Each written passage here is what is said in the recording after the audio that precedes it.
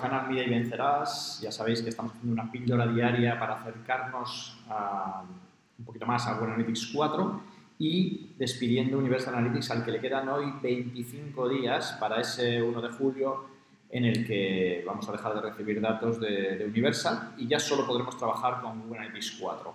Y hoy vamos con una nueva píldora en la que os vamos a hablar de los eventos automáticos, los eventos que genera de forma automática eh, Google Analytics 4 y que en algunas ocasiones nos pueden ayudar con cierta información. Vamos a verlo en pantalla mucho mejor.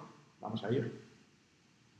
Aquí tenemos, bueno, primero os voy a mostrar un poquito la documentación oficial. Y hay una parte que va más allá de los propios eventos, que son los parámetros que estos eventos eh, llevan asociados. ¿vale? Eh, aquí tenéis información de cuáles son los parámetros los parámetros eh, automáticos que en todos los eventos se generan. Bien aquellos que generemos nosotros de forma personalizada, que los veremos en alguna otra píldora, bien los que se generan por medio de la medición mejorada, de los que ya hemos hablado, o bien estos automáticos que, que genera la propia herramienta para hacer ciertas mediciones que necesita. ¿vale? Fijaros, aquí vienen especificados cuáles son estos eventos. En las aplicaciones hay algunos más, ¿vale? Pero principalmente son estos. Language, que guarda el idioma en el que se, con el que se está ejecutando el navegador. El page location, que es la, el path, la URL, vamos a decir, desde la que estamos enviando el evento que sea. El referer, que es la página previa en la que estábamos.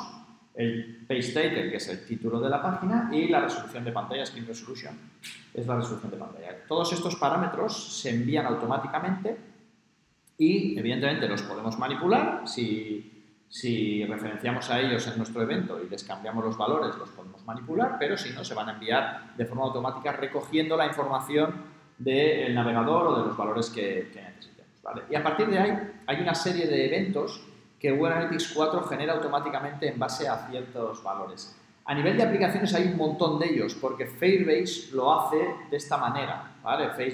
Hay una vez que integramos nuestra aplicación con Firebase, Firebase ya se encarga de realizar ciertas mediciones de forma automática y podéis ver aquí un montón de eventos, pues impresión, por ejemplo, que se encarga de controlar eh, las impresiones de anuncios si es que tenemos en nuestra aplicación. Ya veis que todos estos son solo de aplicación eh, y a partir de ahí hay un montón. Algunos así que pueden ser eh, importantes, por ejemplo, la eliminación de, la aplicación. Esto solo funciona en Android, por ejemplo, controlado Google a ese nivel, eh, si hay suscripciones, por ejemplo, en, el canal, si se actualiza la aplicación.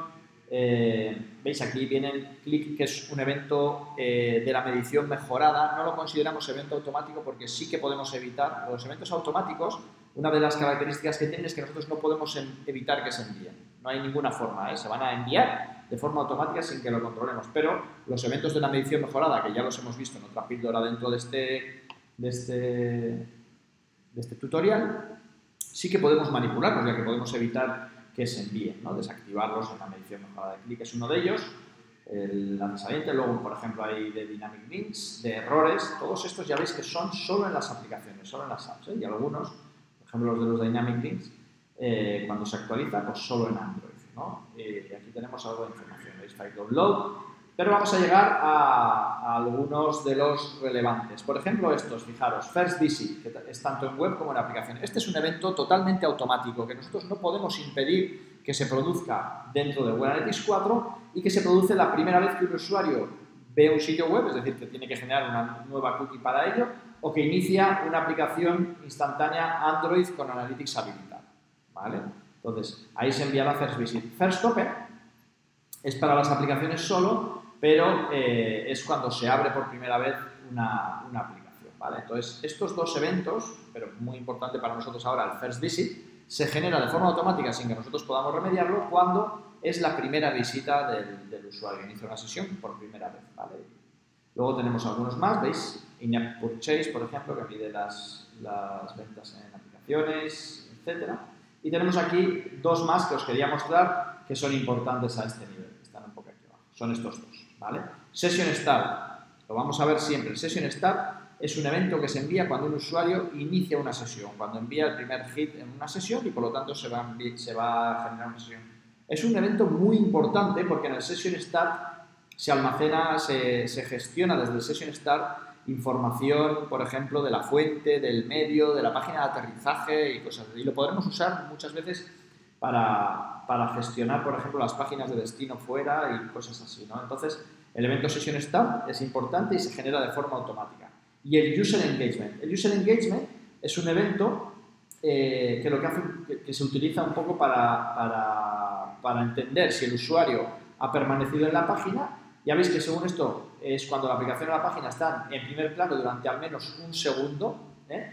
Y aquí cobra relevancia también el parámetro engage, Engagement Time milisegundos. ¿vale? ¿Qué, ¿Por qué? Ya hablamos de cómo se gestionan las métricas de engagement, pero este parámetro lo que hace es enviar el tiempo en milisegundos que transcurren entre los diferentes eventos con el fin de controlar un poco los niveles de interacción de los usuarios. Nuevamente, este es un un evento automático que se generará por sí solo sin que nosotros podamos evitarlo. ¿vale? Luego tenemos aquí el resto de aquellos eventos que, que, se hacen por medio de la medición mejorada, por ejemplo los de vídeo o los del buscador interno. ¿vale? Entonces, principalmente, sobre todo en sitios web, en aplicaciones hay muchos porque Firebase genera muchos de errores, de acciones en, en las App Stores, etcétera, pero a nivel de web principalmente nos tenemos que fijar en tres, ¿vale? Tres eventos automáticos.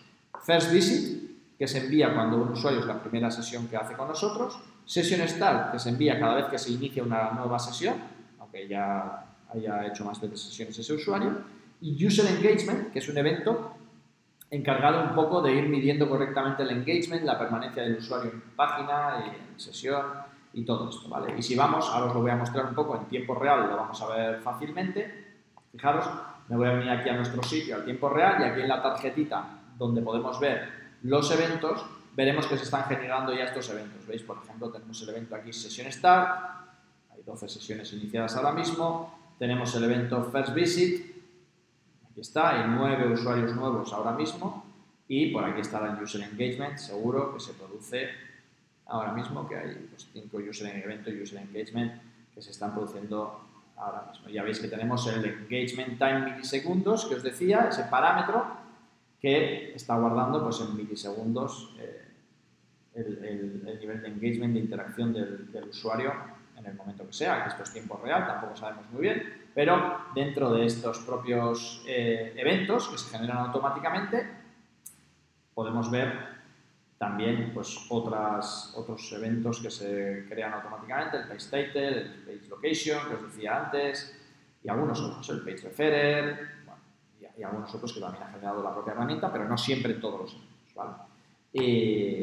por supuesto, con el First Visit ocurre lo mismo, tenemos información de page referral, page title, page location, etc. Y eh, estos eventos, por supuesto, los vamos a ver también en los informes de interacción. ¿eh? Si vamos aquí a interacción eventos, los tenemos ahí, podemos hacer que sean, por ejemplo, conversiones también, aunque no es muy habitual, quizá el first visit en un momento dado pueda tener sentido, pero el resto no.